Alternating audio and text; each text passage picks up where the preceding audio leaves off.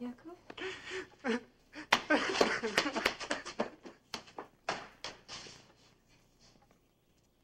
what happened? He wants to get married. I won't have it.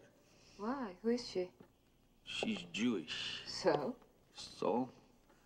You want him to marry a Jew? Hmm? How can you say that? Huh? How can you feel that?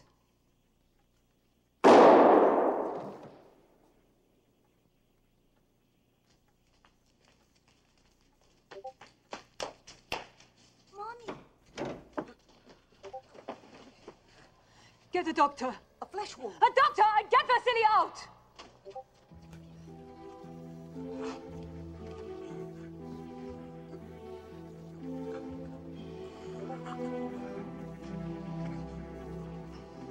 Idiot.